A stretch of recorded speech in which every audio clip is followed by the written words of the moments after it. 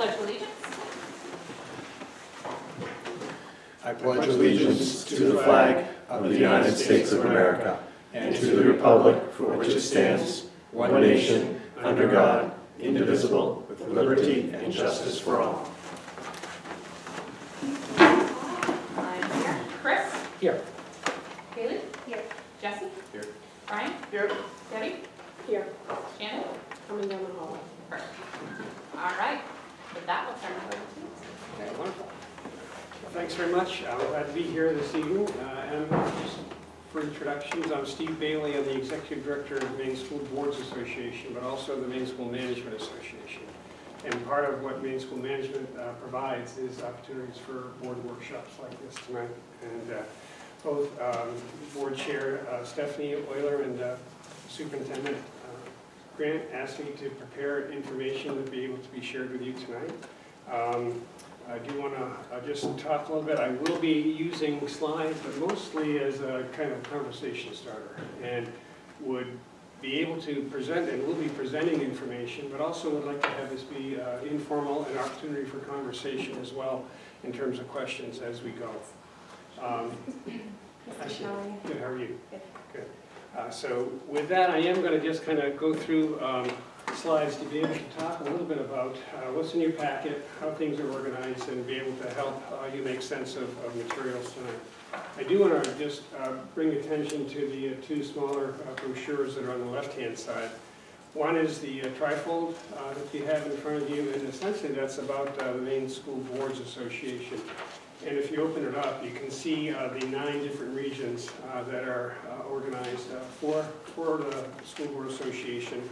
Um, And you are in um, Penquis, uh, so you're in the Region Two. And I do know that uh, some of you have been attending uh, the regional meetings that are held, uh, because we do have regional meetings about four times a year. We send information out to everybody, and it's really a matter of who can attend, who's available, what night uh, uh, you're available when the, when your board doesn't meet, your school committee doesn't meet. Um, But we do hold those um, in September to be able to go over resolutions in preparation for the delegate assembly. And then again, uh, typically in, in March and May, sometimes we will have another one in, in January. But there are um, uh, people within your region, there are three different uh, directors on the Maine School Boards Association from Region Two.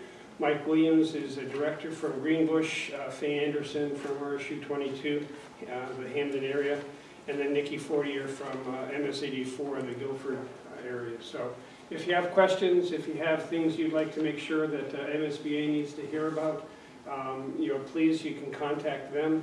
Um, uh, Peggy Lembo Splain is the president uh, this year. Um, uh, Jane Osborne will be the, uh, is the president-elect, and she'll be elected, well, actually, she automatically goes into the presidency at the uh, delegate assembly, which is October 21st.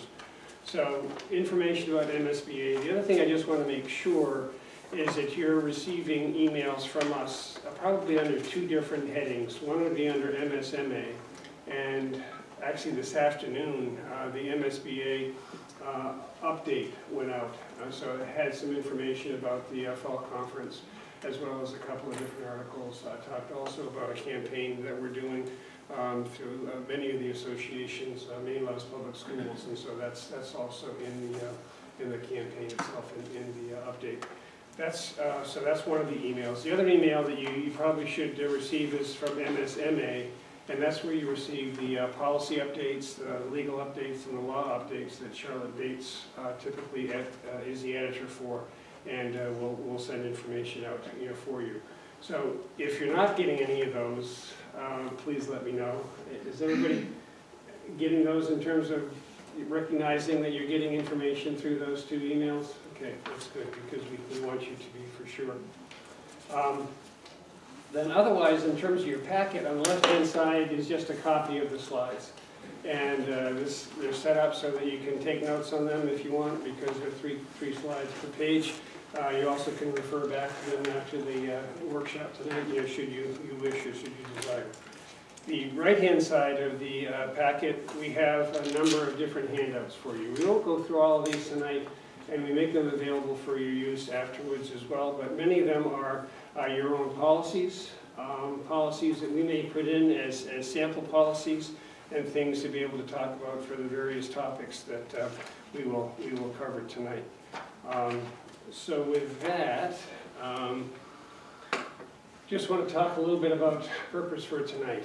Uh, The main purpose being review of Maine School Board statutes, um, where and how and how, why you, you have authority and where you get it from.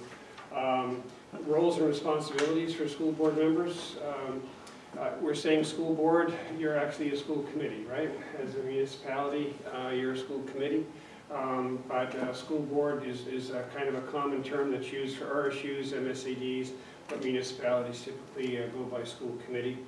Um, Certainly want to see what we can do to be able to think and talk about how you can enhance uh, learning as school board members.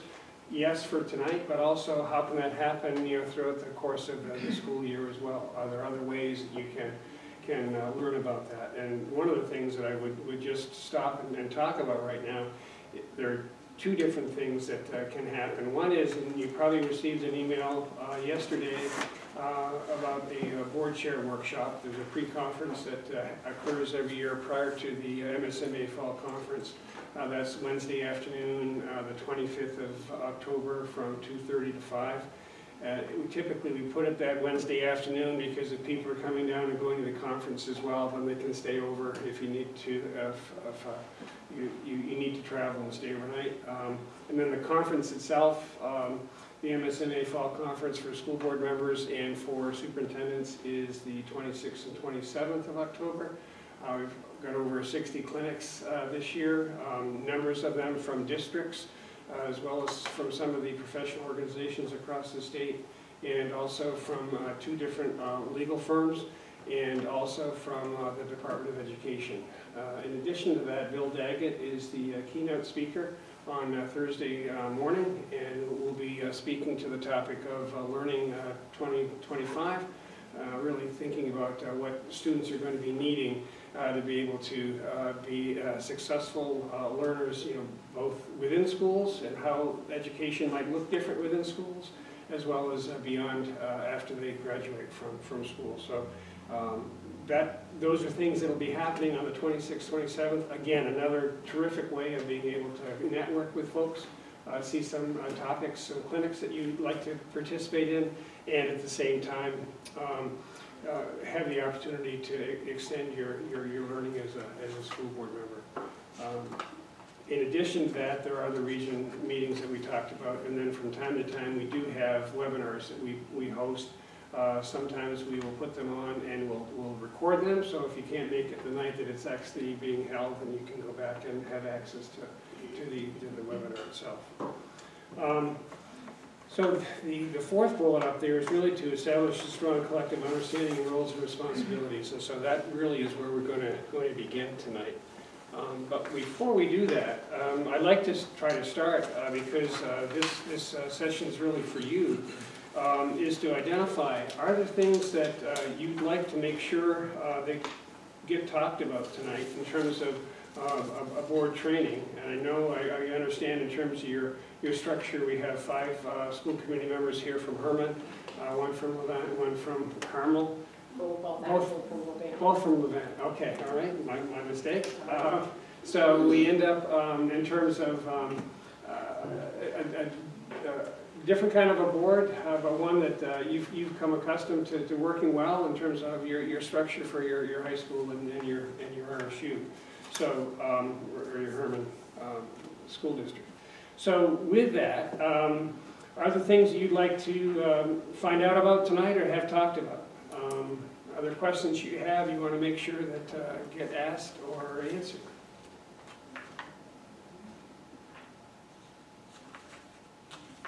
If not, then we'll kind of let it flow, and, and uh, as they say in terms of the bottom of that, you know, feel free to ask questions as we get into information. Some of you I know are veteran uh, school board members, uh, so this is going to be a a refresh for some, and uh, for others, uh, your experience here will, will really be of, of of value to those that are, are- are newer on the board. Um, First, this is one of the places that we like, like to start, because it's really important from the standpoint of both what your responsibility is, as well as, as um, who you're responsible to. So In terms of the oath that you all took after you got elected, you went to your town office, um, this is a, if this wasn't the exact wording, uh, something very much like that.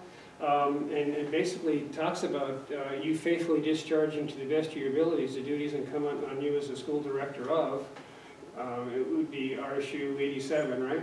Or uh, Hermon um, School Department, um, according to the Constitution and the laws of the state.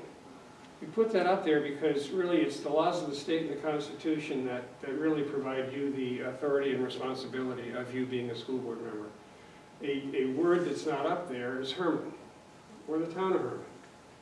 And while um, that's, that's vacant and is not indicated as part of it, and we'll talk about that in a little bit, your, your role as a, a school committee member comes from uh, laws and comes from the legislation that's been passed by the, by the legislature.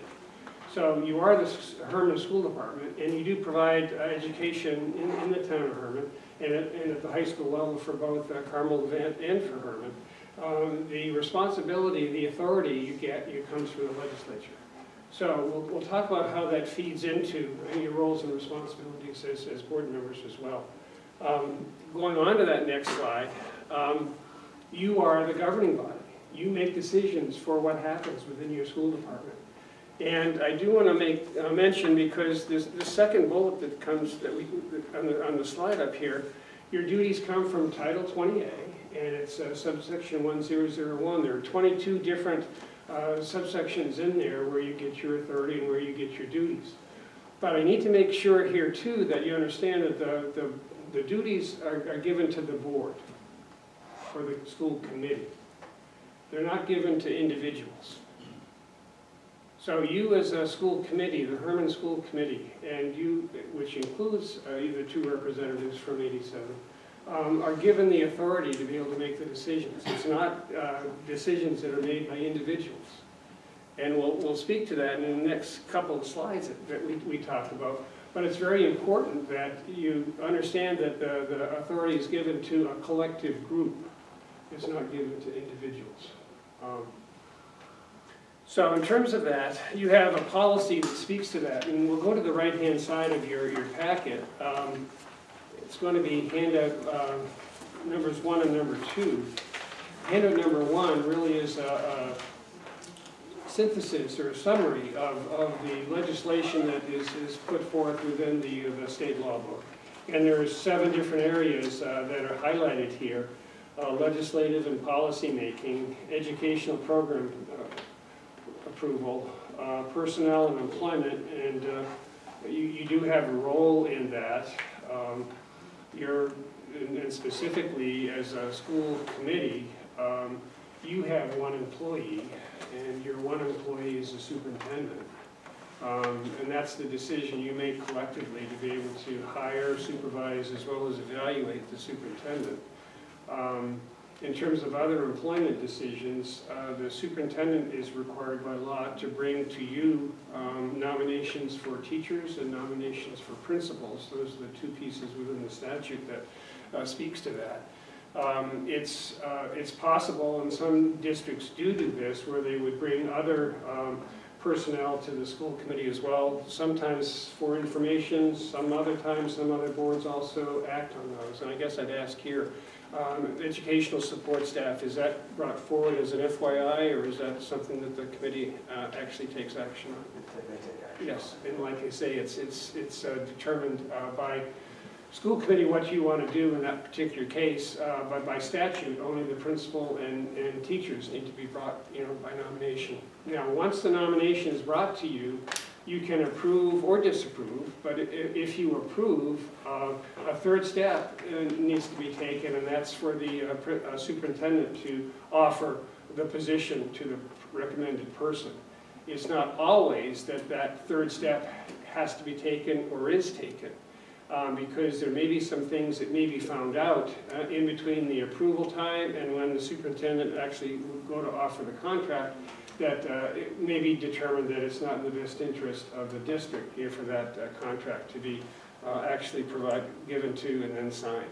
Yes, Haley? So, when your superintendent is offering the job to the employee before the board has voted, how do we handle that situation? When the staff already knows that they were hired or have already been told before the board has So what kind of situation are you talking about? So if you're hiring a teacher or a principal and they know before the school committee has even voted on it, that's not, Are you talking summertime, or are you talking uh, I'm other times? talking anytime. Well, typically, they, they can't be hired until the- the, uh, well, let me back up a little bit. There are a few school committees, and we don't recommend this, uh, and and, um, attorneys wouldn't either. Um, But sometimes in the summertime, uh, I have seen uh, school committees give authority to the superintendent to hire uh, for the school committee then to approve after the uh, offer has been given to the uh, teacher. Now, typically that happens in the summertime. It happens when everybody else in the school world is, is trying to hire. And in the shortage situations that we're in, uh, people don't want to be waiting on um, uh, having determinations either by school committee or um, if they've got, you know, competing offers, you know, being made, you know, uh, between districts. And so sometimes that uh, contingency is placed there, that the superintendent can go ahead and and offer the position, that the school committee then would need to come back and, and approve uh, in order for that person to actually be hired. Because for teachers and for principals, uh, that approval, a nomination has to happen, the approval by the board has to happen, and then the, the- the superintendent you're giving the position would then, would then occur. So I don't know if that follows into any of those uh, situations that you asked the question about. Um, not necessarily. The other question is, is I wonder about the legality of if they're told they get a job and then the school doesn't, the school board doesn't approve it, um, what retaliation they may set us up for. There, there isn't any, uh, because uh, they, they can't, there's no guarantee of the position until they've been approved by the, by the school committee. So in- in- even in those situations, the, the the superintendent may say, I have, I have the intent of bringing your name forward, you know, to the school committee. I intend to, you know, hire you for the position, but that's an intent. But it can't happen until the, the school committee has done the second step, and the third step is the superintendent actually uh, providing the contract. Now, that's going to be delegated to somebody else if, if the uh, word is to continue to uh, go forward with the process, but, okay? But there is a difference in notifying somebody you intend to take their name for versus offering them a contract. That's correct. The board That's right. votes on it. Right. Yeah. And uh, I, again, um, well, in, in your situation here, where it's even for the uh, educational support staff, where you do depend on approval uh, by the board before you offer the contract, you- you're using the same process there as you would for teachers and for, and So for principals. if they're already started working and they're receiving income before the board has approved it,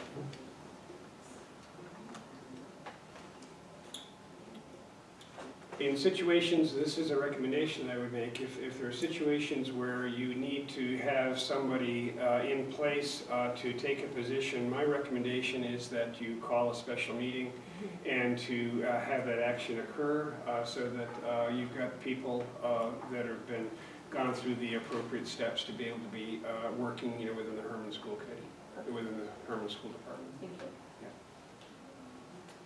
Yeah. Okay? All right. Um, So in terms of, we were still working down this sheet, weren't we? Yes. Okay, after personnel and employment, you have a quasi judicial role to play also, because there are times where you may need to be uh, the, uh, the determiner of, of an appeal or some other type of situation. And I think of mostly uh, teacher dismissal or discharges, uh, or uh, student expulsions. Those are places where uh, you are the final determiner of, of what the, what the situation is going to be. Because of that, we ask you in most situations uh, to um, try to remain as neutral as you can in those situations so that you don't become biased before you have to actually be the, the judge and jury on, on certain situations. So uh, we ask that you not be the lightning rod for, you know, being the advocate for, you know, people that uh, may be looking for you for some support and some help as, as uh, they try to bring their situation forward.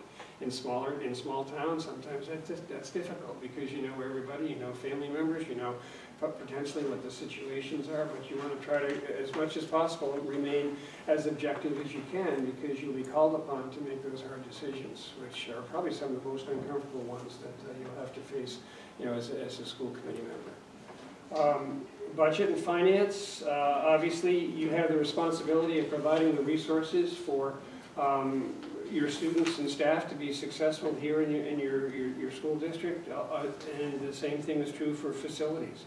You know, what do your students, what do your staff need to be able to be successful? And then also communicating with the public. So those are things that are listed within the, the- the statute, but that are uh, uh, also repeated here. They're followed up by your policy, it's handout number two, your school committee powers and responsibilities.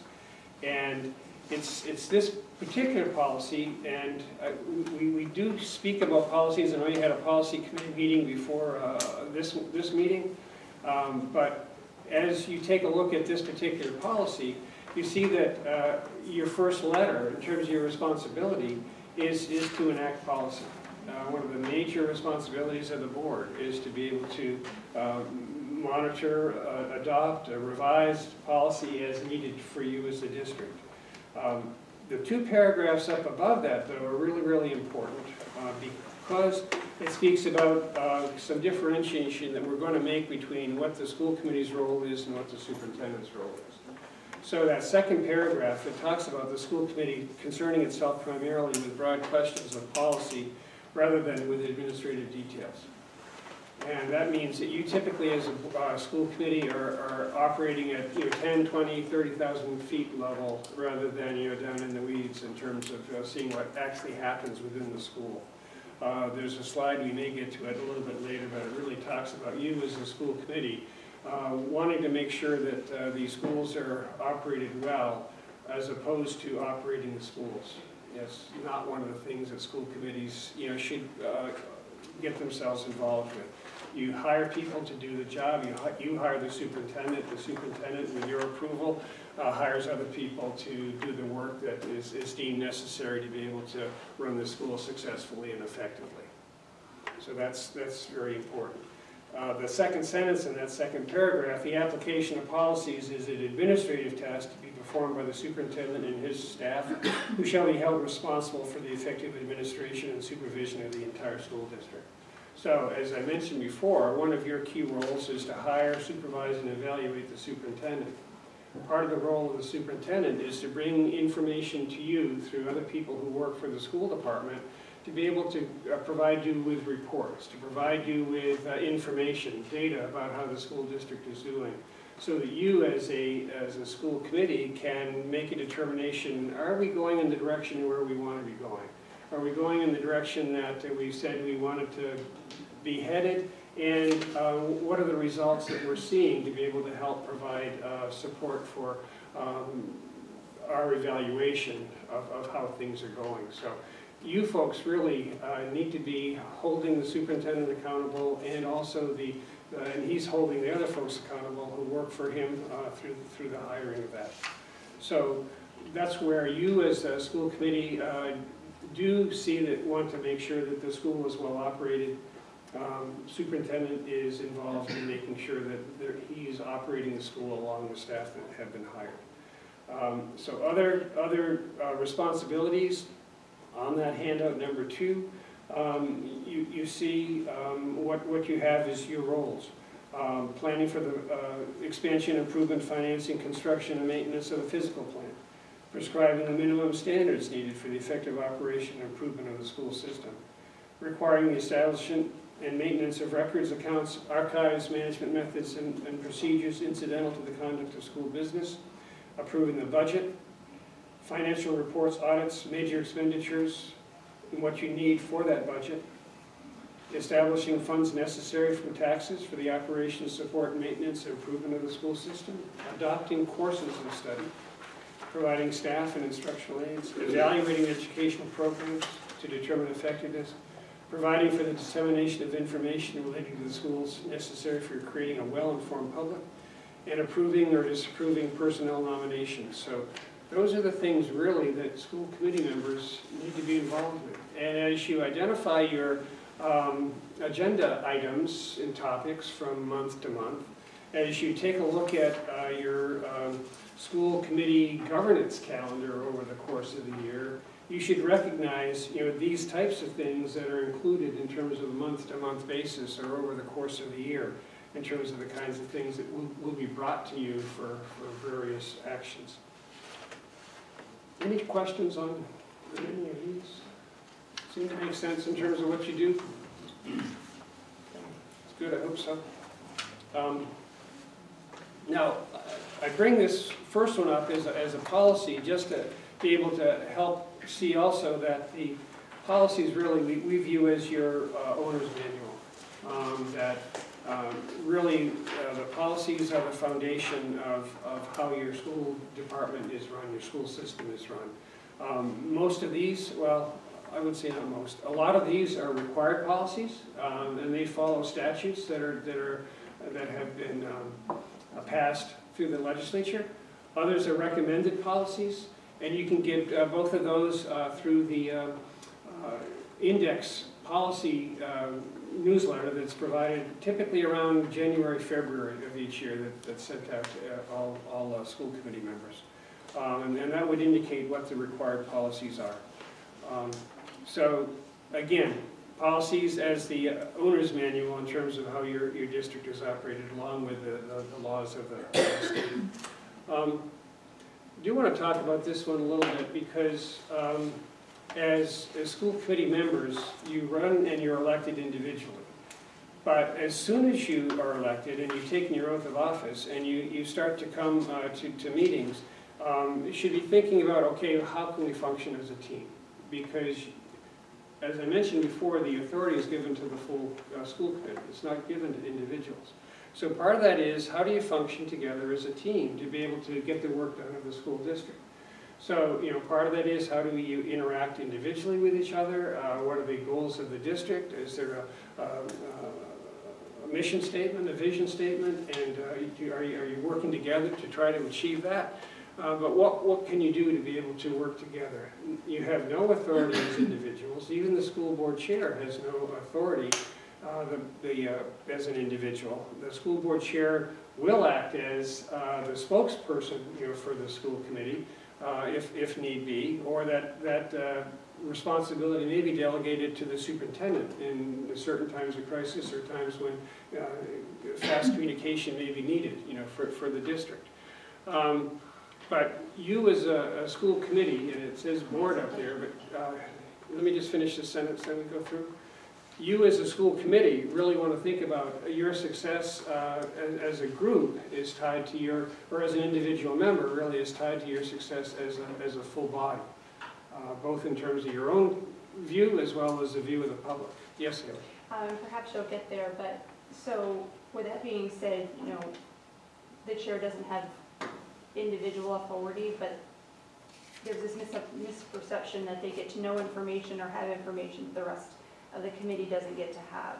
And there's a special relationship between the chair and the superintendent that other people on the committee don't get to be privy to certain information. Can you clarify that? Well, we'll talk a little bit about that. Um, Okay. Well, there's nothing by statute that would say anything different than Correct. what I've already said in terms of, uh, they all have um, similar uh, opportunity for information. There is, uh, I'll go to your point of, there is a, a a different type of relationship between the superintendent and the, and the school committee chair, just based on the need for, for planning, for uh, sharing of information, uh, discussing of information. Uh, The superintendent often will use the uh, school uh, committee chair as a sounding board for uh, trial balloon in terms of checking things out, um, and then having the opportunity to, to communicate information to the rest of the school committee. So we'll, we'll talk a little bit about that as we get into ha- handout number seven, which should be, we'll go forward with that a little bit.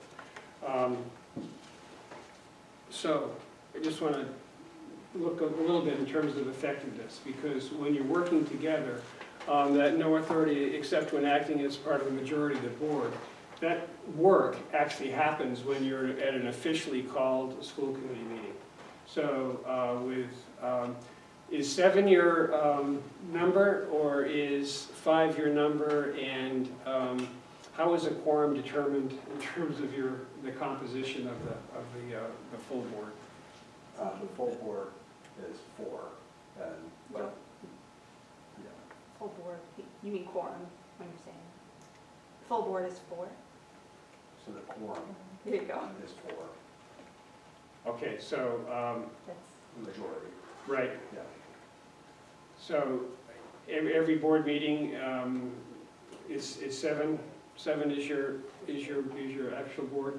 Okay, so it's, uh, four would be, uh, majority of the board. So in terms of this particular slide, um, if you have an officially called meeting, uh, you need four members to actually hold your meeting, right? And, uh, four members can determine any type of uh, positive or negative vote, uh, based on, on the, you know, who's here. Um, If you have less than that, obviously your, your, your, your majority numbers go down. If you have six, I mean, it's still four. If you have five, it's three. Um, But the majority, there has to be a decision made, um, and then that action is, whatever is taken, is, is the action that is the will of the board for that particular meeting. Um, So I guess my, my point in saying that is, um, number one, it has to be an officially called meeting, and number two, your actions are determined by the majority of those uh, present and voting you know, that particular night. Um, And, and, and so again, it, it speaks to the issue of your, your actions are together as a team or as a board as opposed to uh, individuals. And even if individuals uh, present um, may not agree with uh, something that was said or something was determined by the vote, it's still the will of the board in terms of what the majority of that, that board is. And as board members, we'll get into this a little bit in terms of uh, code of ethics, uh, I'll take a look at that in, in, in just a minute. Um, But the intent is that, you know, once, once a, a decision has been made, then that's the decision of the board, and, and people um, necessarily, typically, um, support that decision after it's made. And I will have you look forward on uh, handout number eight, um, and look to uh, your, your letter H uh, down the sheet uh, that speaks to, um, I will support a decision graciously once it's been made by the majority of the school committee. Um, So this whole statement, set of, set of statements, is your um, Hermon School Department um, Code of Ethics, which really is, um, I'm going to talk about this as your uh, job description, uh, where we talked before about the policies as the uh, um, operating manual that this really is more like a job description in terms of how uh, board members, uh, school committee members, you know, view their interactions with each other, as well as their uh, opportunity to interact with the public, as well as with staff. So um, if you, if you do take a look at this in a, in a closer way, uh, you take a look at letter B, I will at all times think of children first and base my decisions on how they will affect children, their education, their training. Really important uh, statement uh, for you. Um, D, I will remember at all times that as an individual, I have no legal authority outside the meetings of the school committee, and that I will conduct my relationship with the school staff, the local citizenry, and all media of communications on the basis of this fact. Um, E, I'll recognize that my responsibility is not to operate the schools, but to see that they are well operated. Um, I will seek to provide education for all children in the community commensurate with their needs and abilities.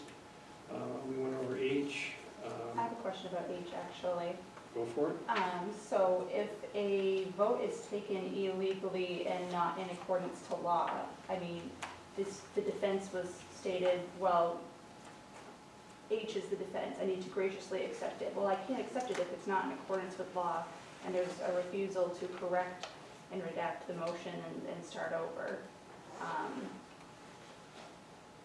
There is the ability to be able to uh, rescind or to um, reconsider, uh, reconsider if it's at the same night, and I think it's rescind if it's at uh, a meeting to to follow. Um, So Robert's Rules does allow, you know, those actions as well, if if that might necessarily have to happen. So there are are situations like that that might occur. Like if a vote is completely illegal and, and done in secret, then you have to start over, so. I'm I'm not aware, or we're not talking about that typically. Well, I'm asking you the question just because of H and that being the defense, I just want clarity. I don't know, if this would be defense, that would be something, if that were a question, then that would, if it were raised by the, the, uh school committee chair and the superintendent, you know, to, uh, an attorney to find out whether or not the vote, you know, was considered illegal. If, if it was, then, then, uh, then, uh, action would need to be taken in terms of how to, how to correct that.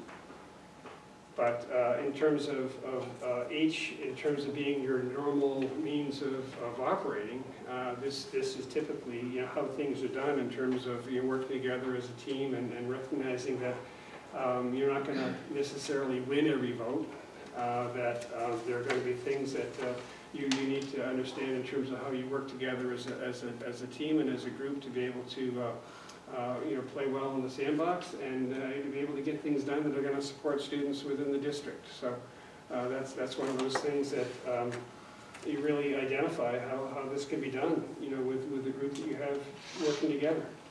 Um, I, as I would go along, I'll not criticize employees publicly, but will make such criticism to the superintendent for investigation and action. Now, if indeed uh, there's a a situation, and you may have policy KEB, I don't know, but uh, if there's situations where uh, you as, as uh, school committee members have questions about the superintendent, then you would ask the school committee chair.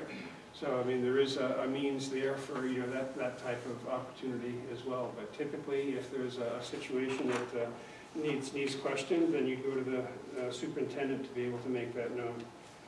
Um, J is another important one. I'll make decisions openly after all facts bearing on a question have been presented and discussed. In that particular case, what we're talking about here is really not having your mind made up before you get to the meeting.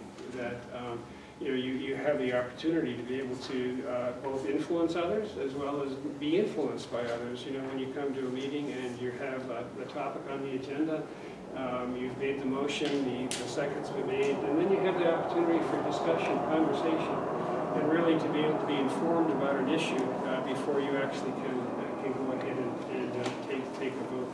So, again, code of ethics, really important. Uh, One of the things that we do recommend is that um, school committees, you know, take time to actually review these on on an annual basis. Uh, The value of that is that you, you just take time to reconsider what it is for your uh, responsibilities to each other as well as to the children, uh, you know, within the, within the school committee, uh, within the school district.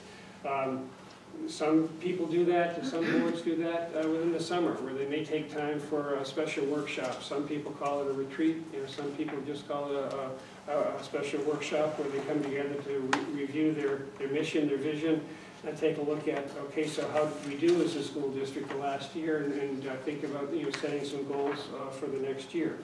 Uh, And at the same time, reviewing the code of ethics so that uh, uh, people can renew their commitment to each other as you go ahead and, and uh, continue into the, into the next school year. Um, This is, this is one that I, this is three sets of slides that I I wanted to just uh, pay some attention to. Um, And it really speaks to um, who you represent. In thinking about um, state law and statute and uh, court cases uh, that have been uh, tried, um, sometimes when people are elected to a school committee or when they're elected to be a selectman or a select person or to the legislature, um, there's difference, differences in terms of uh, what your role is as a school committee member. Um, And it's difference in terms of the term representative for versus representative of. When you think about uh, being representative of, excuse me, for, um, people see themselves being elected representatives of a particular constituency. So someone going, uh, being elected to the legislature, they've been elected by uh, a certain district, uh, be it a senator or be it within their uh, representative. Um, They voice only the self-interest and opinions of that constituency because there are people there who are trying to get laws passed based on who elected them. And while they may be listening also to other folks, they're really working on behalf of the consti- on the constituency's interests. So this would be a representative for. Um, Representative of is really more of a situation where you're listening to all the opinions and the information around you, be it at the uh, Little League field or the grocery store in your neighborhood or other people around town. Uh, But you understand what those constituencies are talking about to you, um, and you're going to be bringing those, in- that information uh, to your school committee uh, decisions. Uh, And you would be considered there as representative of. You voice the interests and opinions of those you know best, and then vote on behalf of the best, of the overall interests of the organization. You know, the organization are the students and the school district. It- It's not necessarily the neighborhood you're elected from. It's not necessarily uh, a vested interest of somebody who has talked to you and said, this would be really, really important, you know, for the town. Now, you may agree with them, and you may, you may go ahead and voice those, but in terms of your overall action at the end of the day, you should be thinking as a school committee member, which is very different than uh, being elected uh, to another office within the state, uh, thinking about the overall interests of the organization, you know, students as well as uh, the district. So I, I do want to make that distinction in terms of uh, representative for versus representative of, and as school committee members, you're responsible for, at the high school level, everybody, all students uh, from your, your three towns. You know, at the uh, pre-K eight level, you know, for Hermon, all students in terms of, of whoever they are, wherever they come from. It's your responsibility to be thinking about them and, and what's in the, in the best interest of, of those, those particular students. Um, So as we move forward, I do want to talk a little bit too about roles and responsibilities, thinking about school committee and then superintendent. And you have a policy, it's header number five uh, in your right- right-hand packets, uh, that really speaks to uh, school committee and the superintendent relationship. I've talked about the duties that you have deemed upon you by the legislature. Uh, There are 22 of them in terms of uh, Title 20A. Um, And then by policy, actually in the statute, there's also section uh, uh, 1051 to 1055 that speaks about the duties of the, of the superintendent. Um, So as we take a look at this particular policy, it says in the second paragraph, as we talked before about uh, policymaking being the uh, role of the school committee, management of the schools is a function of the superintendent. The school committee holds the superintendent responsible for complying with all the applicable laws. Uh, And that paragraph continues. Um, The school committee collectively and as individual members shall recognize the superintendent as the education leader of the school department, provide direction for the superintendent through written policies, objectives, and so on. And then down at the bottom, um, well, actually, we'll, we'll continue a little bit. Uh, Give the superintendent full administrative authority and support for properly discharging their duties. Hold all school committee meetings in the presence of the superintendent, except as otherwise permitted by law. Uh, Refer complaints, criticisms, and requests to the superintendent or other appropriate personnel and discuss them at school committee meetings only after administrative solutions have been exhausted. So that's where I, I again would ask you not to be the lightning rod for um, situations that come to you. Now, people are going to seek you out because you're, you're school committee members. Um, They know twenty-four seven that you're a school committee member. And so they're, they're gonna try to request for you to be a a good listener, which, which you should be, as well as uh, to have your, their, their particular situation passed along. And in those situations where somebody does speak to you, I'd ask you to, to share the information with the, with the uh, school committee chair uh, and the superintendent so that they have a heads up as to what the situation is and they can help plan for uh, what, what the next step might be with regard to how to deal with that particular issue that might be brought up by a, by a resident or a parent or uh, a business member of the community. Um, And then obviously F, uh, evaluate the superintendent, provide up- appropriate opportunities for the superintendent to share his, his perceptions regarding the working relationship between the school committee and uh, superintendent. So you've, you've set up through policy something that also is represented by the model and by the slide up above. It's also on your slide number six uh, in terms of your handouts. Um, The board really should be operating on that left-hand side of the slide. Um, Thinking about vision, mission, goals, policies. Um, You're not uh, the people that uh, should be uh, intent on trying to do the operation of the, of the, of the school district. Uh, You should be uh, concerned with uh, the what, in terms of what is it you want your students to, to be, do, and act, and, and and, be able to perform once they finish eighth grade, once they finish high school. Uh, Your questions really are gonna be more about the what, the why, and the how much. Yes? That's a good question.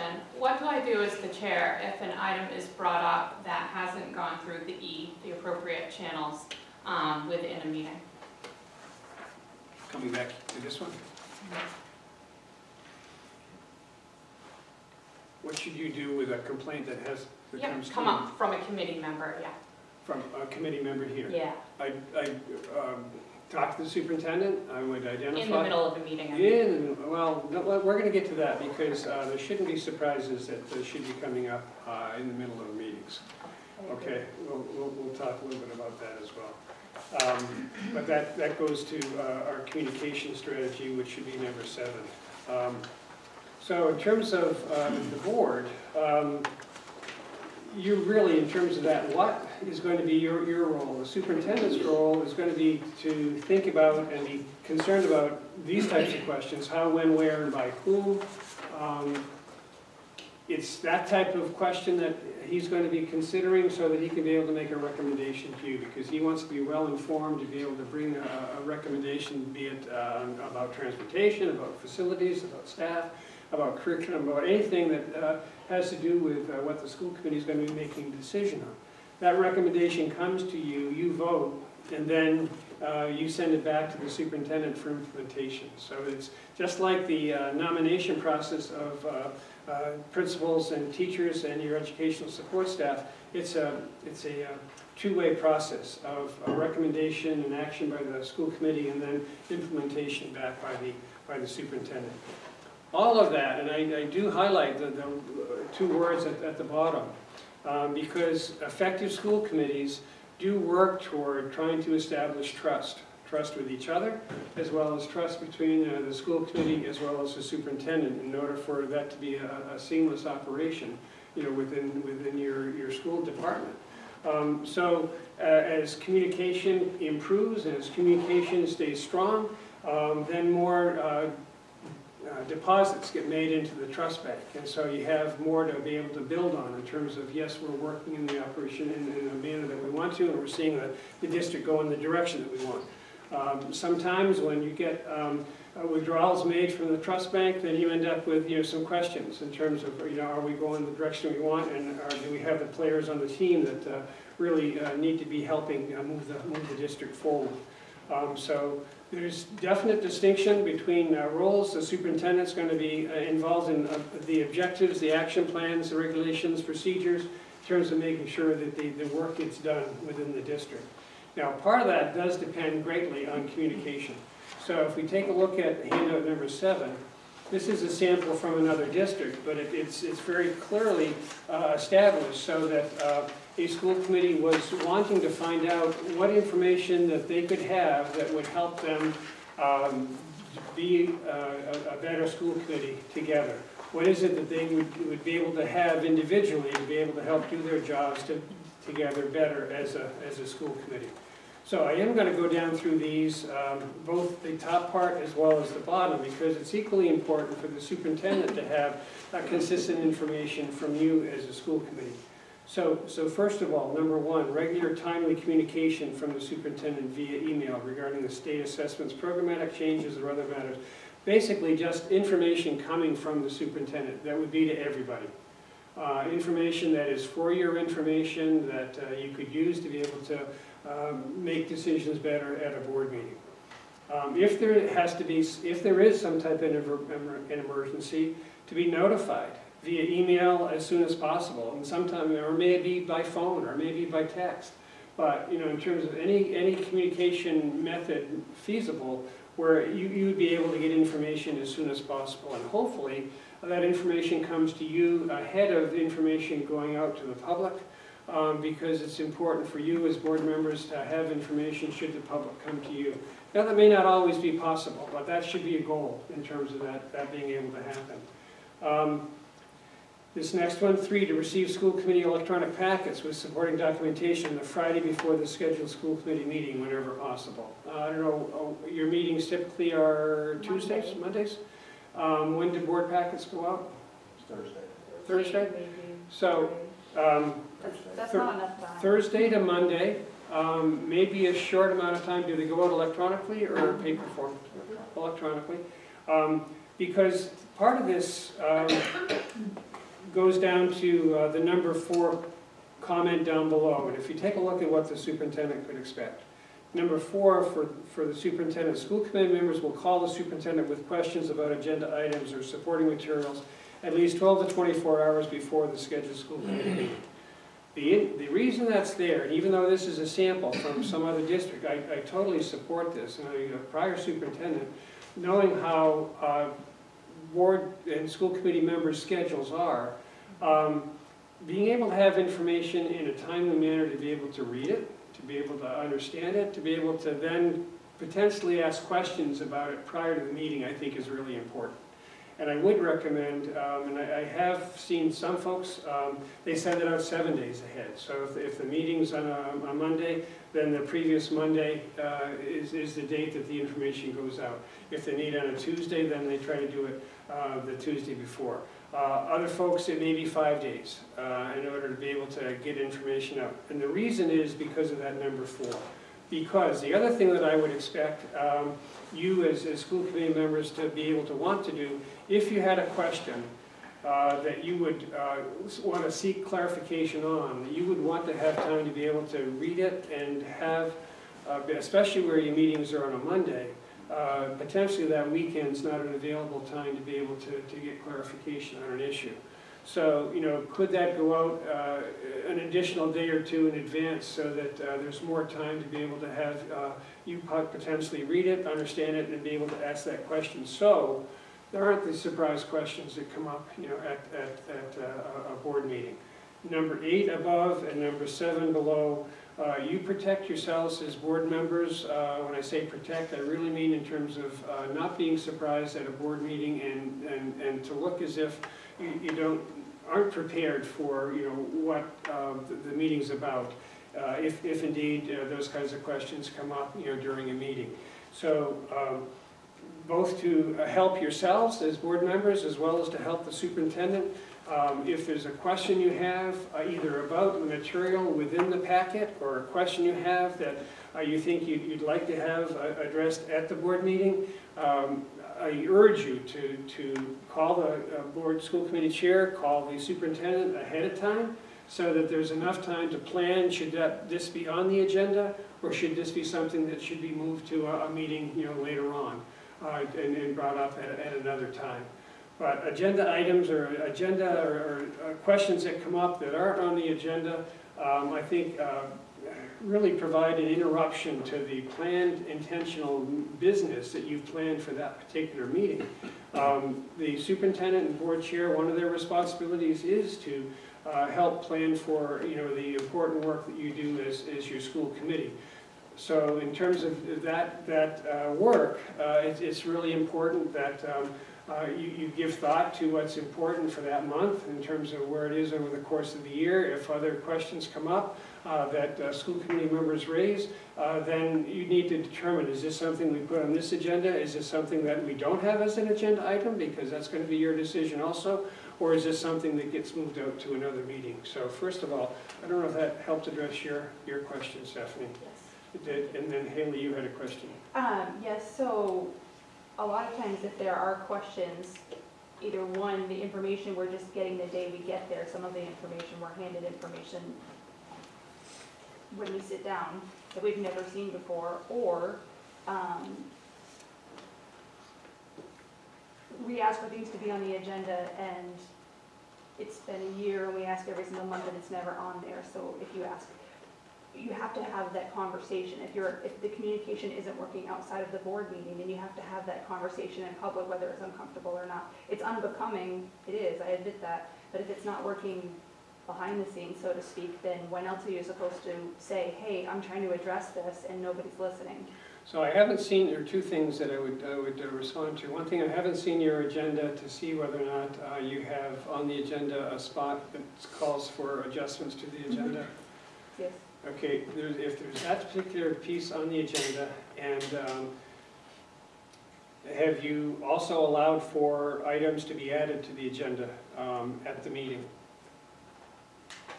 Okay, So- not necessarily from board members, only from the superintendent. well, um, there is, if, if you have adjustments to the agenda, there is the possibility where um, a, a school committee member could uh, request that an additional item be, be placed on the agenda. It would um, be uh, necessary for that to receive a second, and then at least a a majority, uh, if not two-thirds, uh, action to be able to have that item be placed on the agenda for that night. Now, that said, uh, often those items that are are placed like that, unless uh, there's information to be uh, known, seen, or or discussed, and be able to be uh, uh, discovered or or- or considered, you know, for that evening, it's difficult, you know, without preparation of that particular item to be able to make a decision on that. And so I'm going to go to your point and uh, make, make another recommendation. If there's information that you feel as if you don't have enough time or you didn't have enough information, uh, that uh, someone on the committee can make the motion to table uh, the item uh, and to be able to have it be considered, you know, at a, at a following meeting. It can be tabled to the next meeting, it can be tabled until, you know, you have uh, additional information to be able to, to make a decision. So that, that is a possibility that you can do to be able to uh, consider it if, if you didn't think you had enough time or information to make a decision. School committee members should feel as if you're informed to be able to make decisions. You're making important decisions in terms of uh, what, what you have in terms of uh, uh, school students as well as, well as staff. Uh, Stephanie? Yes, we also have a spot on our agenda at the end for future agenda items, every single meeting. Okay, and then I haven't seen, uh, looked at your policy in terms of how agendas, uh, some school committees do have uh, agenda format as well as agenda determination. And so typically, in terms of agenda determination, it's it's typically the uh, su- uh, superintendent with the board chair who makes the final determination as to what's on the agenda for that next meeting. And that's part of that planning time that goes into, okay, well, what's your business for the next meeting? And so you, you'd have to be making the decision, is this something we want to include or not?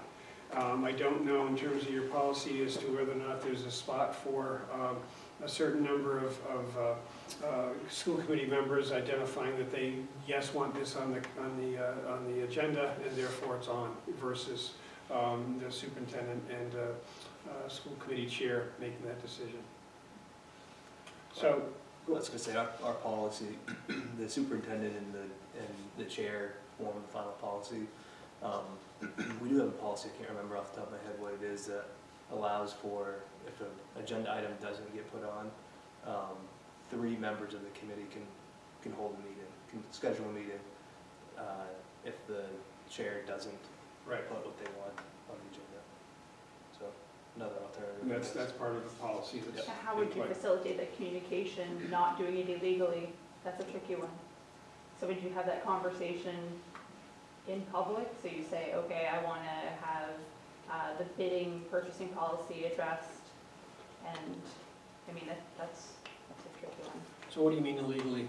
Well, like, if, if what Jesse's saying is, if we ask to have something on the agenda and it doesn't get put on there over month after month, um, how do we facilitate getting three people to have that meeting? Well, four is your, four is your quorum. Well, see, that's the thing, some of our policies say three, some say four, so that in of itself is a mess. I- And I don't know that in terms of your three and your four. Yeah, three, three, five, majority, and then some other policies say four, so. It depends, that's why it gets tricky with a high school situation. I, I sent you an email last fall about their authority and how it works and what they really should be voting on, or how it works with our quorum. I think our town council's working on it. Could we take this offline, Micah? Could we look at the previous minutes perhaps that we've all approved to see if there's agenda items that have been mentioned every month that haven't been added? Sorry, Stephanie. I said, could we take this offline and could we have Jody perhaps look at previous minutes to um, see what future agenda items were mentioned every month and weren't brought forward so that we could look at addressing No, I those? think it would even be in minutes from. That's what I'm saying, previous- and we approved the minutes the next time, so perhaps Sure. could she go back through and I'll look for also those look for on my us? emails and text messages. But it sounds like there's other vehicles too where you make a motion during an agenda adjustment and we get seconded and voted in and things like that. Right. Okay. And again, we either need the majority or two, I think it's two-thirds in order to be able to have that added to the agenda. Um, Continuing down this communication uh, um, agreement, um, five, the school committee members, well, no, let's go back up to four. Um, All school committee members will receive the same information, this was uh, a point that Haley had had raised and asked before. Um, One member's request for additional information results in all members having the same access to the same information. Communications are done for all school committee members. Now, that doesn't mean necessarily that the uh, superintendent doesn't have a conversation with the school board chair, or school committee chair first. Because there are gonna be some situations either that he's gonna give her a, a heads up to say, you know, look, this is uh, something that I, I've, I've, uh, I've, I've come to know, and this is something that we're gonna have to address as a, as a school committee. And so it's determined, okay, what's the information that is, is, needs to be shared, and then that's sent out to everybody. Um, but everybody should be having that information you know, at, at the same time, so that it's not something that, um, is, is held, you know, separately from, from, uh, any, any particular people. Um, But, but that is something that will help both increase uh, communication as well as help increase trust in terms of, yes, uh, there's transparency there in terms of uh, what's being shared with, with all folks. Um, Five, school committee members treat each other with, and, and staff with respect. Uh, The superintendent staff will treat all school committee members with respect, and reasonable requests for additional information will be satisfied in a timely manner. That goes down to number four down below as well. Because if you got information, and this is where I do think that the Thursday to Monday timeline might be tight, if, if the superintendent's getting a request on a Monday afternoon prior to a Monday evening meeting, to be able to have more information for you uh, at, at the uh, school committee meeting, that's not enough time. Um, Depending upon what else is going on in terms of their world of that particular afternoon, um, more time may be needed to be able to make sure that that information is provided to you. And they want to do the best job they can to be able to have you have the information to make an informed decision. So um, that pairs with making sure that if you have questions, that you ask ahead of time. And, you know, 12 to 24 hours is reasonable. I don't think it's reasonable, though, on a Monday, you know, at 4 o'clock meeting, to call on a Sunday afternoon at 4 o'clock, you know, to be able to, to, to try to get that information and expect it, you know, for a Monday night. So, um, your, your, your Monday meetings are part of the problem. And then the, the other problem is just in terms of, you know, the weekend and, and uh, potentially a, a short amount of time. So to be informed, I, I do think that you need the time. Now, the superintendent expecting down at the bottom, well, let me go back to number eight. I did say no surprises. And no surprises again for the, the superintendent down below. You want to um, both give the appearance as well as be prepared for being a, a very functional body and uh, working together, you know, with the superintendent and school committee together. You, you do that when, when you don't provide hiccups in the road by, by creating surprises at, at, at your meetings. Um, So, direction is given at school committee meetings when the majority of the school committee gives direction. Superintendent doesn't work for one person. Superintendent works for the school committee. Whatever the direction, whatever the decision is of the, the school committee, that's the decision made, and so that's what the, the superintendent has been asked to do. And so it really takes a majority vote of the board for that to happen. Um, School committee members will be respectful towards staff and be respectful of staff's time. That's the other thing, you know, uh, multiple requests, you know, uh, if you want school work to be done by the district, then you will let them do their work.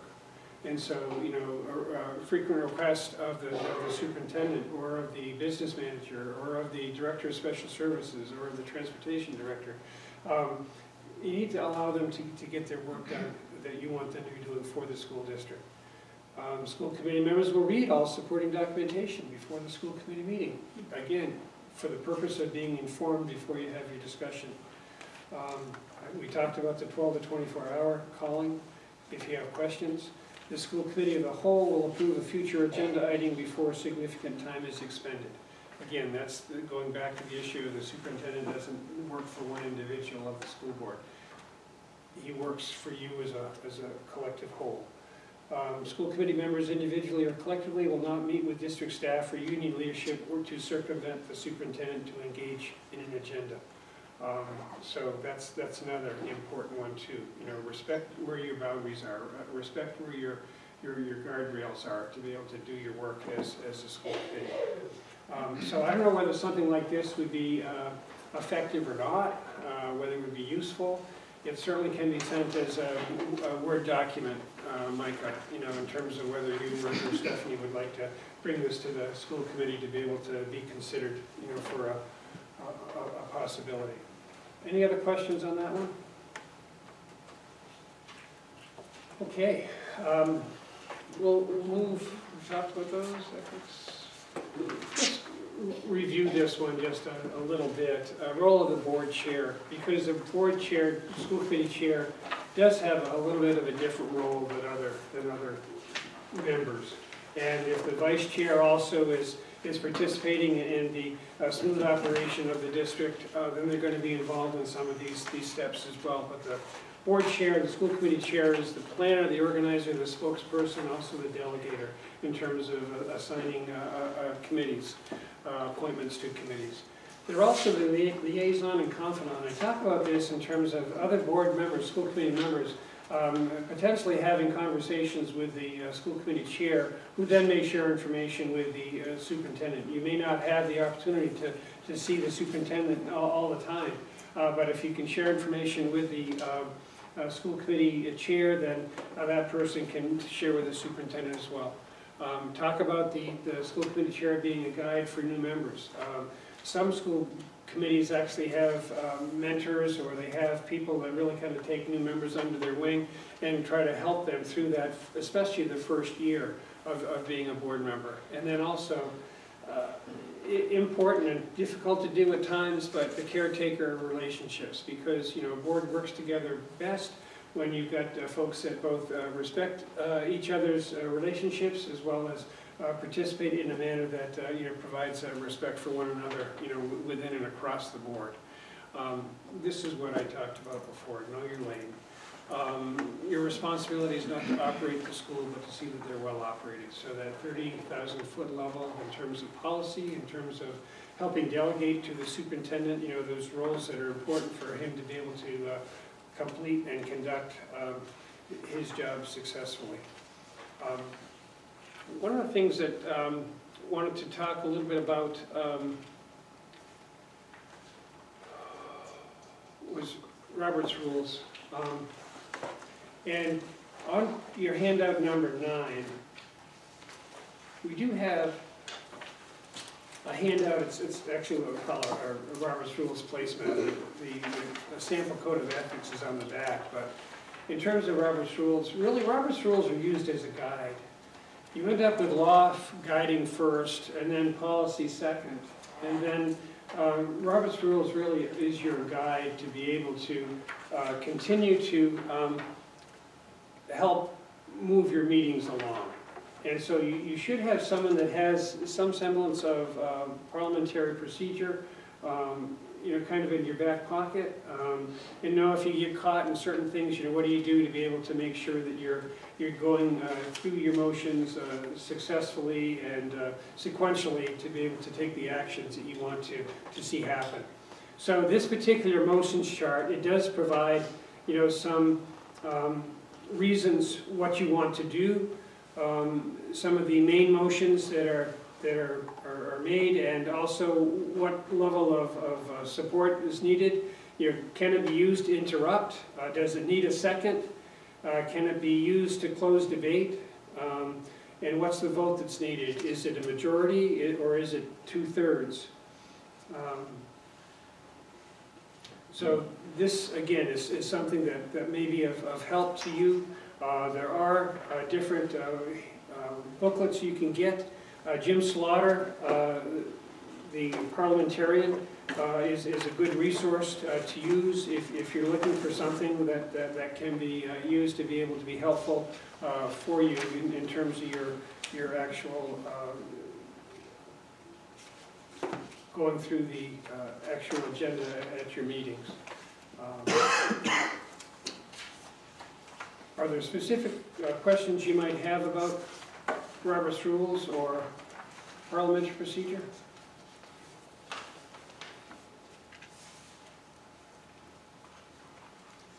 No? Okay, good. Um, Then what I'd like to do, and then I have talked about this before, under board and superintendent uh, responsibilities. um, And I'm gonna just go back to this, this slide again. Um,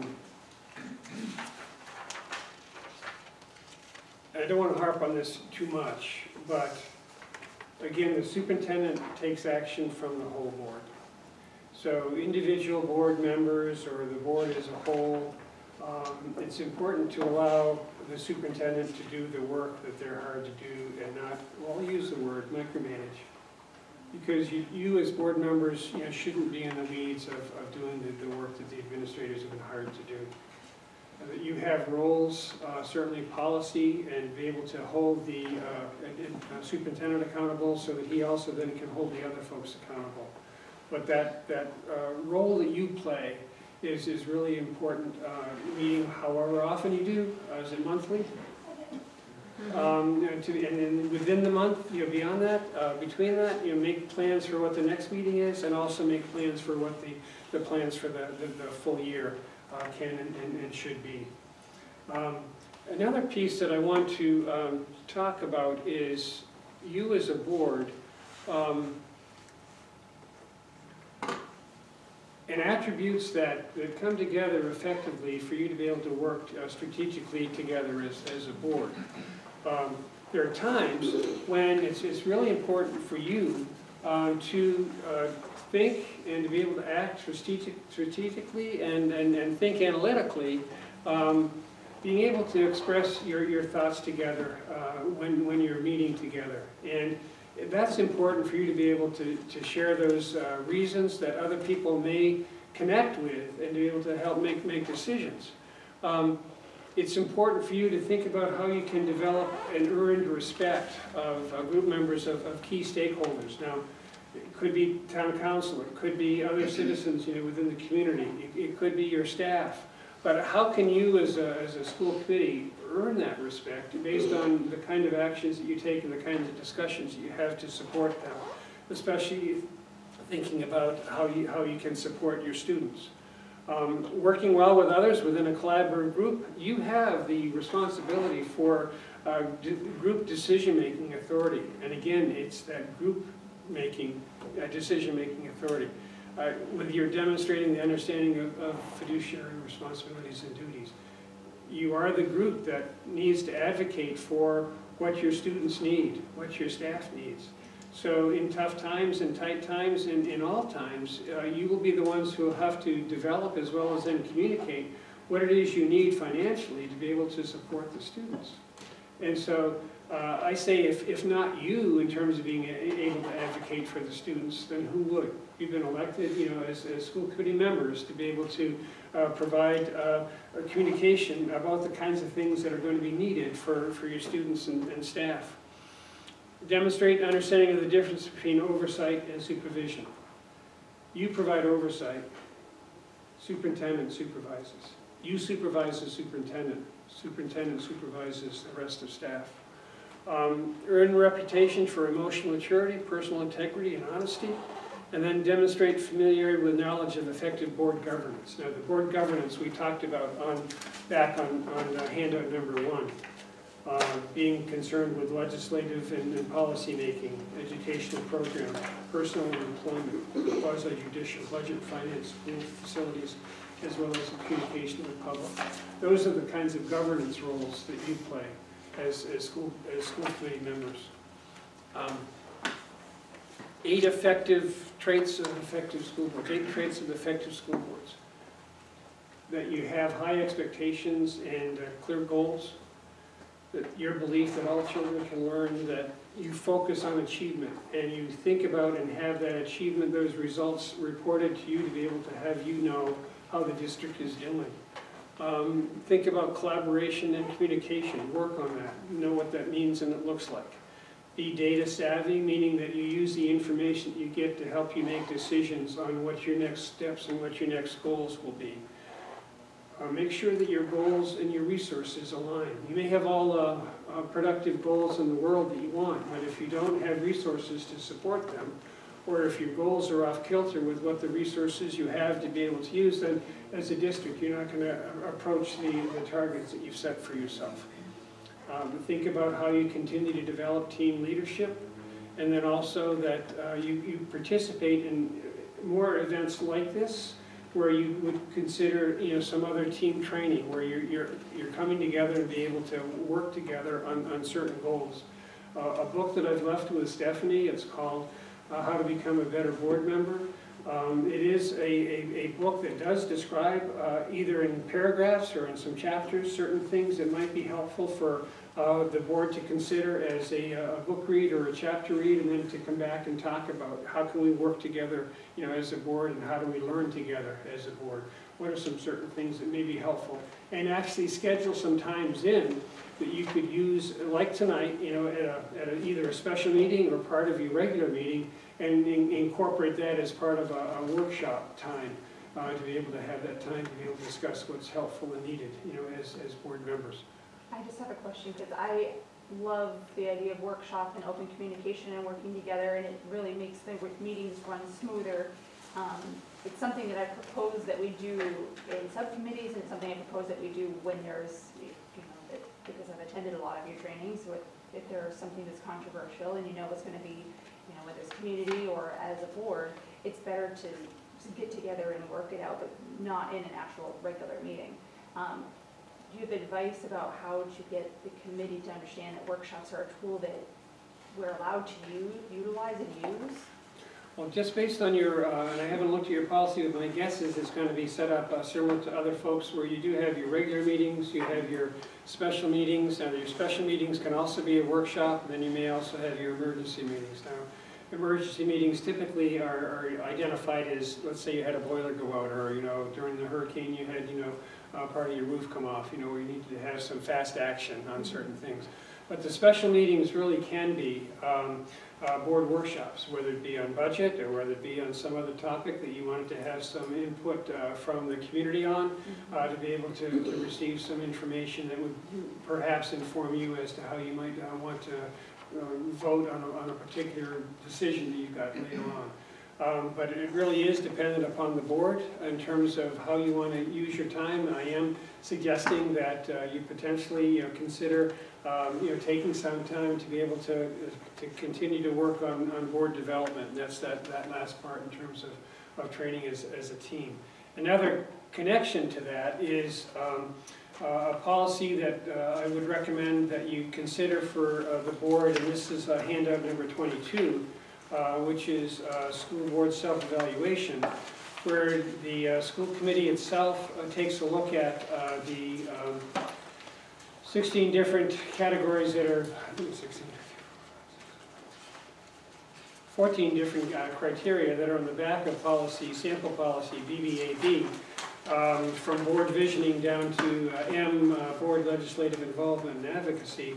And then uh, right behind that is a uh, school board self-evaluation sample form where a, the- a board uh, can uh, determine how often are, are these statements happening. And so you, you actually take this as a self-evaluation, you uh, look at the results, you collate the results, you bring them back for a conversation and say, how are we doing as a board? And uh, use, use some workshop time to be able to say, are there things that we might consider to- that uh, we we might like to work on? Uh, We, we do these uh, three or four or five things really, really well, but uh, we'd like to pay some attention to uh, other things like um, monitoring of student achievement, or board committee structure, responsibilities and processes, or fiscal oversight and resource allocation. There are those kinds of things that an evaluation like this uh, might, might uh, bring some information back to you, and it goes back to that being data savvy, you know, how we, how can we use information to be able to help uh, you grow and and develop as, as a board, so um, that, that's the way that I might- might recommend that you, you consider um, uh, using some information to be able to help, help uh, you, you continue to, to uh, uh, grow as a board. Um, Yes, Stephanie? Um, I know we skipped over for time, and that's okay for the social media guidelines, and I'll probably suggest for a potential, um, agenda item if we don't already have one, um, for board member use of social media. I think that that's an important one these days. Um, but can we go back to the slide, please, about a word about email? Sure. is um, what, um, on the bottom of page seven.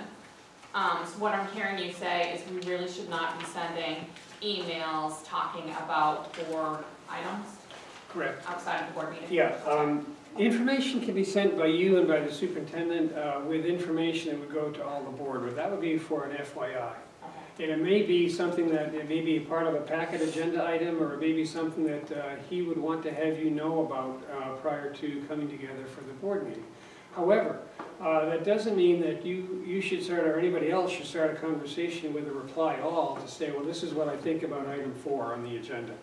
Because essentially what you're doing is you're, you're conducting business out- outside of, uh, outside of the board meeting. And you only can conduct business when you're legally called together uh, to discuss that information, you know, in an officially, you know, public, public setting.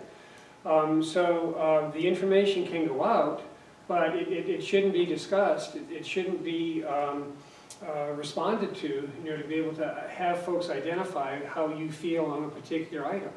Um, It, it should be something, that, okay, well, this is something that I'll, I'll need to know about, it's im- important for me to have, and I can use it as part of the conversation when we get back together as, as a, as a full board, and we, and we discuss that particular item uh, on the agenda. Now, the same thing could be true in terms of a question a, a board member may have. And again, I would, I would recommend that that not be done in terms of, I got a question about such and such, and you blast it out to the, the full board. Because once somebody starts to respond to that, then you're um, not in compliance with the Freedom of Action, Freedom of Access Act. Well, you are, because it's forward You are worthy. not. What? It's forward worthy, the emails are forward worthy. Well, that's what, that's what number two says. Basically, anything you do as part of your uh, board business is a potential public record, and uh, therefore would be a a FOA-able um, communication, and uh, so therefore you- you'd have to turn it over, the school committee would have to turn it over, the school superintendent would have to turn it over if, if a a certain request were made in that particular way. And, and again, you, you don't want, if, if that was uh, FOA-able and uh, it was retrieved and it was determined that uh, you were conducting business, you know, outside of a publicly called meeting, then there's a, a violation fine that uh, you potentially would have to pay, uh, uh, as well as potentially be recognized that you're not doing business the way the Freedom of Access Act, you know, uh, a- asks you to, to do business as, as a public entity. So FYIs to everyone is okay, but not communicating. So if you're saying a, a statement to all, so they're all informed, so they can be well informed before a meeting is okay. Yes, it is, and, and uh, say, this is FYI, please do not respond. And sometimes uh, that information can be given uh, on a BCC versus on a, on a, uh, you know, regular address in terms of your, your, your top line, you know, so that it goes individually to everybody, and then people don't necessarily see who the other BCC is, and so if you were to go to reply, you'd, you'd just be replying to the, the person sending it to you and not the person that, the other people on the, on the full email. Um, And you're saying FYI is okay for any board member, or is it typically? Typically from the chair and from the superintendent. And uh, I, I do that because again, the, the, uh, the the superintendent, if, if a board member has a question, I would ask them to ask the chair and the superintendent, and then have the chair or the superintendent ask that of the other people. Because what you don't want to do is, is uh, start to have uh, that level of, of conversation and communication outside the board meeting beforehand. And if, if, if that question is sent to the board chair and to the superintendent, then they can, they can uh, formulate uh, a strategy in terms of, okay, how can we get this discussed? You know, what's, the- what's the manner of which we can have this information Will and to be determined? sorry, so with that, then having meetings before the meetings that don't have all uh, the board members is frowned upon to make decisions. Not by the chair and the superintendent. That happens, that happens routinely, and that's expected in terms of the superintendent and the board chair meeting together to be able to plan the meeting, that's expected. With the chair, but no And others, yeah. The chair, sometimes vice chair, depends on how the, the uh, uh, committees operate. That's, that's the purpose, if we go back to the roles of the, of the chair, that's, that's one of the main reasons, is to be able to have, um, I, I typically always met with the, uh, the, the, the board chair and, uh, from, in, in planning my meeting a week ahead of time to be able to identify what's gonna be on the agenda. Matter of fact, your policy would say that in terms of the, uh, uh, the superintendent with uh, participation from the chair, you know, will determine the agenda. So that, that's how that happens. Yeah. Did that cover that one enough, Yes, Stephanie? you very much. Yeah, okay. The other thing that I would say is, please be cautious about including any type of uh, uh, student names, student initials, um, uh, staff, staff name initials, you know, any of your subject lines or any, any of your, your uh, communications. Uh, You want to protect the privacy of your staff and of your students.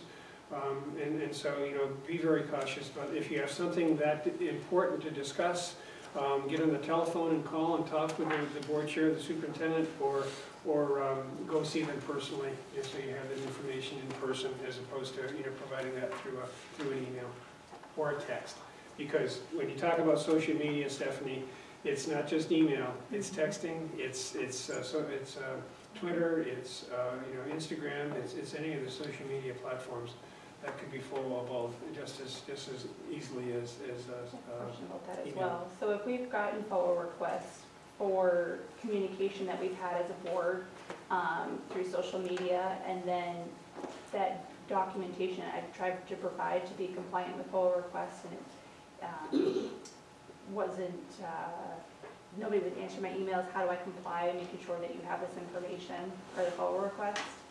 Um, Do you have advice about how to handle that? What do I do with the information if I know that this was FOA requested, but I'm reaching out to the superintendent and the chair to say, I need to give you this information? who was it Um, requested by, It was a FOA request through a citizen. through a citizen? Mhm. And So if they FOA request and say, have you had this communication? was it of you as well as all other school committee members? Yes, it was sent to all the school. So then I said to the chair and superintendent, I have information, where do I have to do, or where do I send this to be compliant? And it was over three different months, I think it was, that I've sent at least two emails to say, what do I need to do? And no one replies. So I know it's a non-compliance. I would, would ask, I mean, that's a situation where a superintendent and uh, school committee chair need to reply. Thank you.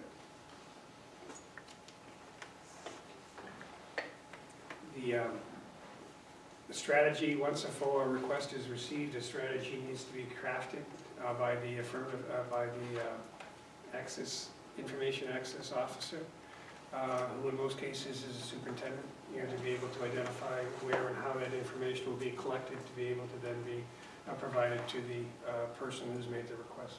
Should we utilize sending it to the ombudsman so they have it and they can utilize it and say this was a FOA request because the process isn't working now? No, Okay. over time, that That may, has happened. but Yeah. yeah. Yeah, I think the ombudsman is being inundated with information. Yeah. Other questions about this one? No. Okay. Other questions in general? Yeah, so I I had asked you about the, why you won't share the password for the policy database, and that's the first on the charge of duties for the law of we're assigned. Um, And that was something in your training that I thoroughly enjoyed last year down in Augusta. Um, Can you better explain why you are choosing to alienate other board members who are paying you dues? And why you won't do the? Talk about that, I, I would say that you individually are not paying dues. Uh, the school board is paying dues. Right, So it's the school board who's the member of MSBA, it's not individuals who are members of MSBA. So we're all board members, so we all should have equal access according to your, I No, sent you the the- information. The board, um, and this is information that we also made available to the superintendent and the board chair, that uh, the board, the board is the member, and so the board chair and the superintendent do receive that um, uh, policy password, and part of that is to protect the integrity of the database.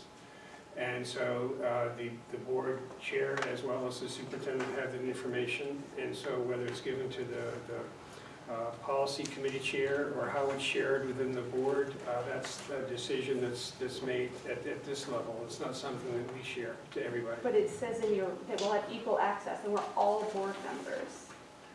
So I want to understand why it is that I've had it until July, you guys changed the password, and you are now withholding it from all elected board members. The dues are paid by, for all board members to have equal access. That's, that's the statement that we've had, and that was in there before, and whether we made it available before, I, I don't know uh, why, in terms of that particular training, everybody received it, whether that was a policy night, and it may have come in, uh, gone over by, uh, It was you at the convention, it was you and I sitting in a convention, to a room, a room, uh, hundred people. It's, it's available, you know, to your school committee, um, and uh, the information is available uh, to your school committee. and how they share that is, is your decision as a school committee. So- at this point. Thank you. So they're allowed to withhold the information. It's, it's provided in, in uh, that statement that I sent you, and I also sent um, to, uh, uh, So what, so if Stephanie. our duty is to serve the community and, and to bring policies forward that will help our school, why would we want to encourage the chair to not allow the board to fulfill their duties to bring policy forward? What duties are we not able to fulfill? Any policy that we or anyone wants to bring forward or look at. What do we want to bring forward? I'm happy that we can discuss it as a board, and I can, and we can log in and we can get it. How would I know if I don't have access to the database? There's no Right, reason to but what- withhold it. Why, why must you do that? What policies are we looking for? I just explained to you, any policy. But we act as a board, so we can look at it together. I know that, we We're- should all We're not look gonna it together. continue to discuss this, we've already talked about it. We're discussing it because you are choosing to withhold information to the entire board. Or to one board member. You know, not to one board member, it's just Micah and I that have access to it, we haven't even provided it to Debbie yet. She has her own school board out in Carmel. So I'm trying to understand why, what do you gain by withholding it? We were given the recommendation that this So password it's a is to be recommendation, shared see, so it's- by, If, if, see, you're saying recommendation, he's saying you have the authority, you said he would give it, he's not, I'm asking you. Why would you want to withhold that information? And if we are withholding it, then we shouldn't be paying them. Because we're not equally getting the representation. The representation is given to the board Right, as a, we're the board, all of not us, individually. all together, we're the board. Together, you, you meet So together as we a all get to have the same information. what is it that you want to research on your own? We're happy to be able to get it to you. It doesn't sound that way, it sounds like you want to withhold it. I'll get you the information that you want to be able to How will I know have. if I don't have access to the database to know what's there? It's an I'm not unproductive, going to discuss it any further. it's unproductive and toxic. Do we have anything else that we want to do? We want to open it up to the public comment? Well, leave it in. you have to, it's a workshop. Thank you. Would you like to make a motion? I make a motion that we open it to public comment for questions. Second. All those in favor? Thank you, Thank you, Steve. Okay, thank you. Thank you. What if the questions are for him? Or do you have questions? They can filter them through, From the safe forward, yeah. Thank you.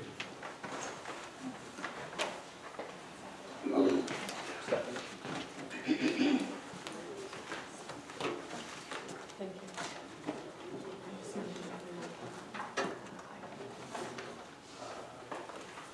Yep, yep, so we'd like to now open it up to public comment. This is, can somebody please the timer for me, please? This is the opportunity for members of the public to comment on agenda items, contribute information that may be of interest to the school committee, or ask clarifying questions. Please wait to be recognized and identify yourself before speaking. This is not the time to register complaints or promote a personal agenda. Please remember that you may not identify any person by name or job function. So, Ed Ford. Um, It was just said in this discussion here that the chair has no additional authority, but we just heard that you, you do have additional authority, so I'm just trying to, maybe you can add a little more to that. I guess there is a place where the chair has additional authority. Where here, we just learned that the board operates all on its own. There are some peripheral things that the chair gets to do, um, some housekeeping stuff. But as far as the authority, I thought we just heard that the chair doesn't have any authority.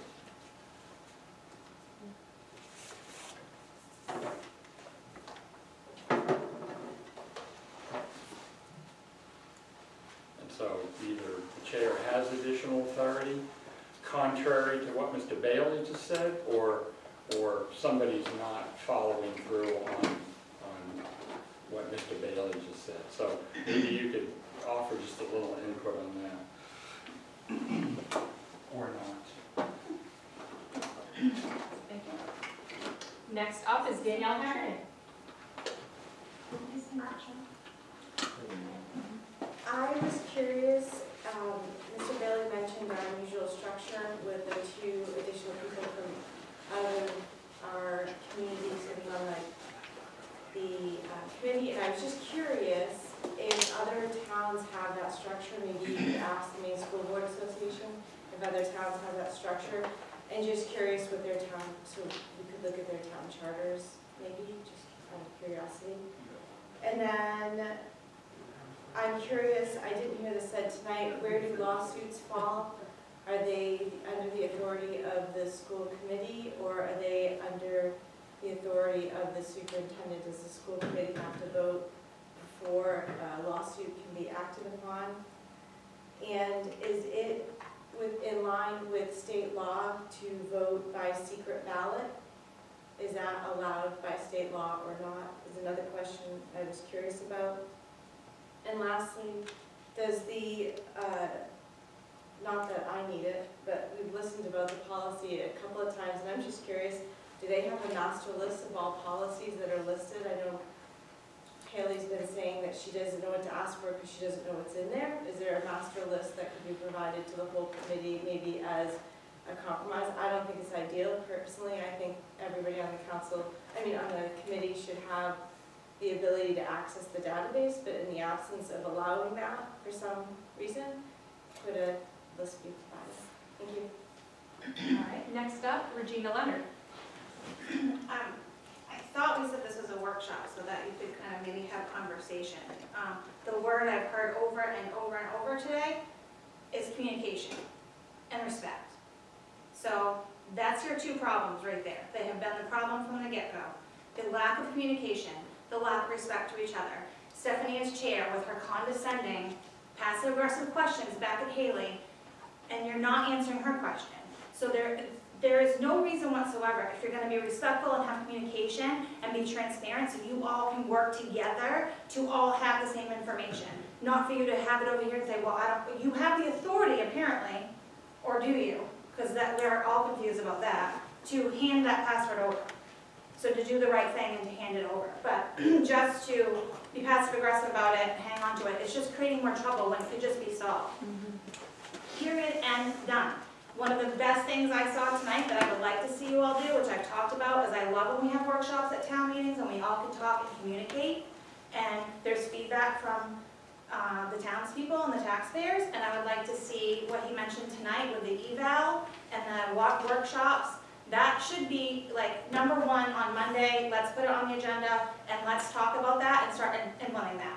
Because again, that's gonna create more open communication, was the word of the night, and then that's gonna gain respect amongst each of you and maybe from us to you, which would help to solve and to close this ridiculous gap in this fight that we continue to have, so that's it.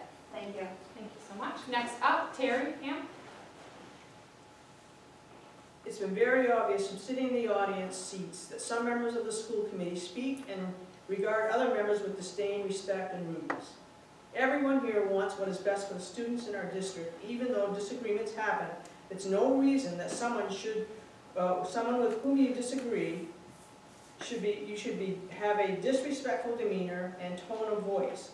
You are all elected by the people of this community to represent us.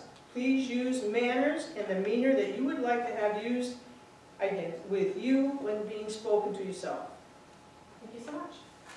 Um, We will close public comment. Can we get a motion to adjourn?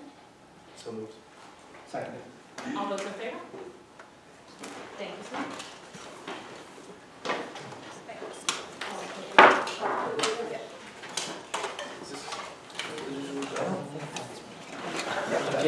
Michael,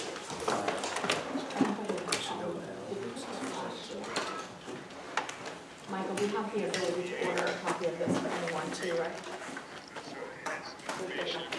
Yeah, probably possibly. When is that? Ten or something?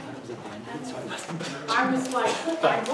I think it is, I think it is too. October ten, I couldn't tell what it was.